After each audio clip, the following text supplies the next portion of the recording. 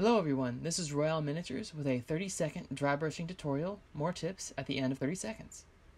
Prime your model black, get a dry brush, put it into a dry area of paint.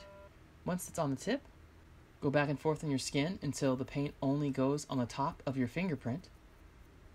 Then get the model and go lightly onto the model surface, applying just a little bit of pressure similar to what you had just done and then once you run out of paint just do that same process and then repeat until you are seeing that the paint is being distributed across the model surface like so you can see how this entire area has now been highlighted and you can repeat this process as necessary to get the results that you want this process can be applied to wide surfaces, narrow surfaces. It's essentially just a matter of using the pressure that you want and then making sure that you're hitting it at the right angle. When dry brushing, especially in high detail areas such as faces or certain areas that have like high concentrations of different surfaces or textures, be sure to hit it very lightly and then maybe work on another part of the model. You don't want to try to do too much dry brushing in one area at a time. After repeating this process for a couple times, you can see that the model is now totally dry brushed and will be ready for paint.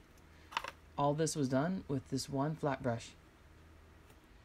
Hope you guys enjoyed this video. I have a couple more that are in the works. I'm hoping that you guys are enjoying this format. Let me know if there's anything you'd like to see or see changed.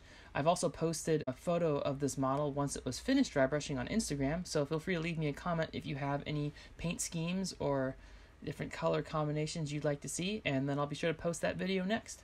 Thanks so much for watching, and looking forward to seeing you guys next time.